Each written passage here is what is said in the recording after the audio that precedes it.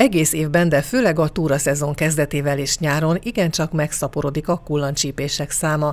A kullancs által terjesztett két legrémisztőbb és leggyakrabban előforduló kórokozó a vírusos agyverőgyulladás és a Lyme-kor, tájékoztatott dr. Kassai Veronika Baranya megyei tisztifőorvos. A leggyakoribb a vírus által okozott kullancsenkefalitis, úgynevezett FSM vírus által okozott, amelynek, ahogy a neve is mutatja, központi idegrendszeri fertőzése következménye, így a tünetei is fejfájás, láz, gyengeség, ami jelentkezik, és egy bizonyos idő után már erősebb tünetek is jelentkezhetnek, akár ájulás, hányás, hányinger, bénulás, ilyenkor nyilvánvalóan már kórházba kerül az illető. Mivel vírus okozza ezt a megbetegedést, ezért antibiotikummal nem gyógyítható, viszont van védőoltás ellene. Ezzel már az egyéves gyerekek is beolthatók. Az oltás hatékony védelmet nyújt, tette hozzá a tisztifőorvos.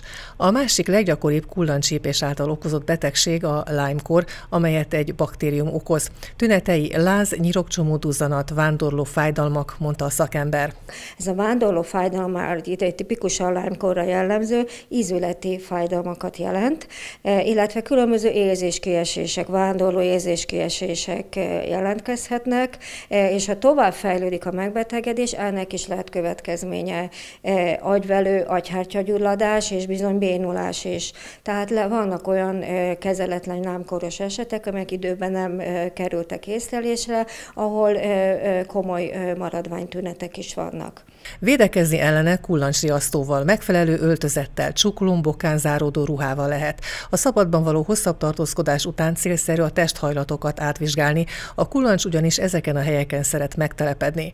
A házi kedvencek sem kivétele, könnyen megkaphatják a kullancsot, ezért őket is nyáron gyakrabban kell átvizsgálni, javasolta dr. Kassai Veronika, Baranya megyei tisztifőorvos.